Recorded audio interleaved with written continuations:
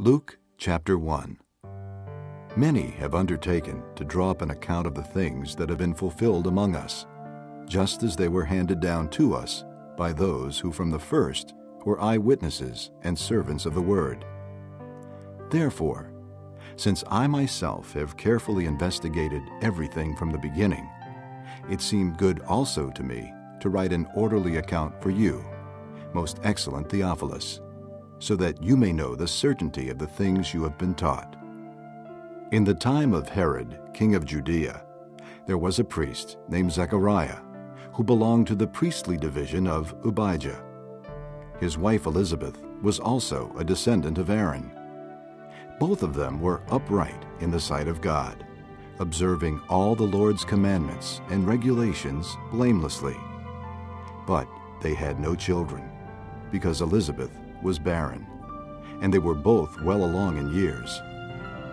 Once, when Zechariah's division was on duty and he was serving as priest before God, he was chosen by Lot, according to the custom of the priesthood, to go into the temple of the Lord and burn incense.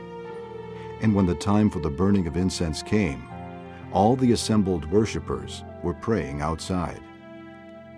Then an angel of the Lord appeared to him standing at the right side of the altar of incense. When Zechariah saw him, he was startled and was gripped with fear. But the angel said to him, Do not be afraid, Zechariah. Your prayer has been heard. Your wife, Elizabeth, will bear you a son, and you are to give him the name John.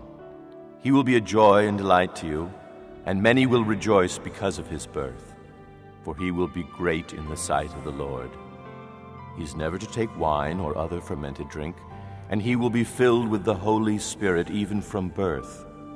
Many of the people of Israel will he bring back to the Lord their God, and he will go on before the Lord in the spirit and power of Elijah, to turn the hearts of the fathers to their children, and the disobedient to the wisdom of the righteous, to make ready a people prepared for the Lord. Zechariah asked the angel, how can I be sure of this? I am an old man, and my wife is well along in years. The angel answered, I am Gabriel. I stand in the presence of God, and I have been sent to speak to you and to tell you this good news. And now you will be silent and not able to speak until the day this happens, because you did not believe my words, which will come true at their proper time.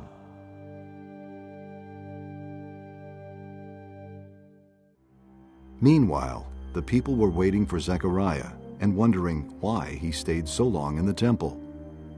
When he came out, he could not speak to them. They realized he had seen a vision in the temple, for he kept making signs to them, but remained unable to speak. When his time of service was completed, he returned home. After this, his wife Elizabeth became pregnant and for five months remained in seclusion. The Lord has done this for me, she said. In these days he has shown his favor and taken away my disgrace among the people. In the sixth month, God sent the angel Gabriel to Nazareth, a town in Galilee, to a virgin pledged to be married to a man named Joseph, a descendant of David. The virgin's name was Mary. The angel went to her and said, Greetings, you who are highly favored. The Lord is with you. Mary was greatly troubled at his words and wondered what kind of greeting this might be. But the angel said to her, Do not be afraid, Mary. You have found favor with God. You will be with child and give birth to a son, and you are to give him the name Jesus. He will be great and will be called the Son of the Most High. The Lord God will give him the throne of his father David, and he will reign over the house of Jacob forever. His kingdom will never end. How will this be? Mary asked the angel. Since I am a virgin. The angel answered, The Holy Spirit will come upon you, and the power of the Most High will overshadow you. So the Holy One to be born will be called the Son of God. Even Elizabeth, your relative, is going to have a child in her old age, and she who was said to be barren is in her sixth month. for nothing is impossible with God. I am the Lord's servant. Mary answered. May it be to me as you have said. Then the angel left her. At that time, Mary got ready and hurried to a town in the hill country of Judea, where she entered Zechariah's home and greeted Elizabeth. When Elizabeth heard Mary's greeting, the baby leaped in her womb, and Elizabeth was filled with the Holy Spirit. In a loud voice, she exclaimed, Blessed are you among women, and blessed is the child you will bear. But why am I so favored that the mother of my Lord should come to me? As soon as the sound of your greeting reached my ears, the baby in my womb leaped for joy. Blessed is she who has believed that what the Lord has said to her will be accomplished. And Mary said, My soul glorifies the Lord, and my spirit rejoices in God my Savior, for he has been mindful of the humble state of his servant. From now on, all generations will call me blessed, for the Mighty One has done great things for me. Holy is his name. His mercy extends to those who fear him from generation to generation. He has performed mighty deeds with his arm. He has scattered those who are proud in their inmost thoughts. He has brought down rulers from their thrones, but has lifted up the humble. He has filled the hungry with good things, but has sent the rich away empty. He has helped his servant Israel, remembering to be merciful to Abraham and his descendants forever, even as he said to our fathers. Mary stayed with Elizabeth for about three months and then returned home. When it was time for Elizabeth to have her baby, she gave birth to a son.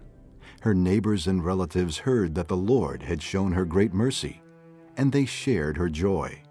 On the eighth day, they came to circumcise the child, and they were going to name him after his father Zechariah. But his mother spoke up and said, No, he is to be called John. They said to her.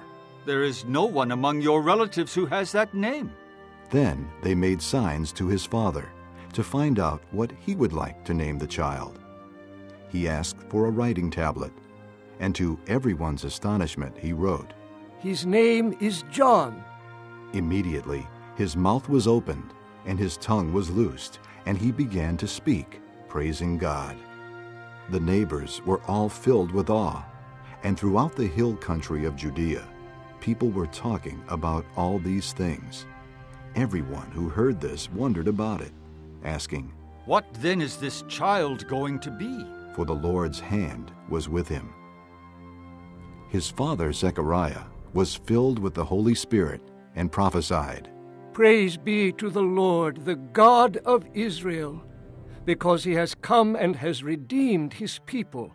He has raised up a horn of salvation for us in the house of his servant David, as he said through his holy prophets of long ago salvation from our enemies and from the hand of all who hate us, to show mercy to our fathers, and to remember his holy covenant, the oath he swore to our father Abraham, to rescue us from the hand of our enemies, and to enable us to serve him without fear, in holiness and righteousness before him all our days. And you, my child, will be called a prophet of the Most High. For you will go on before the Lord to prepare the way for him, to give his people the knowledge of salvation through the forgiveness of their sins, because of the tender mercy of our God, by which the rising sun will come to us from heaven to shine on those living in darkness and in the shadow of death to guide our feet into the path of peace. And the child grew and became strong in spirit, and he lived in the desert until he appeared publicly to Israel.